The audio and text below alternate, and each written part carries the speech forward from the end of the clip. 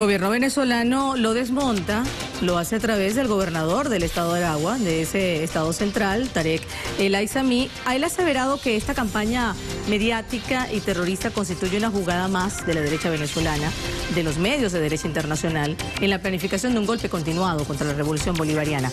El Aizami desestimó la matriz informativa que han utilizado algunos medios privados sobre un posible virus letal.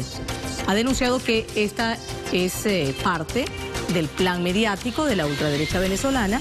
Ha señalado textualmente jamás y nunca pensaremos que la derecha fascista iba a utilizar un sistema tan sensible como es la salud.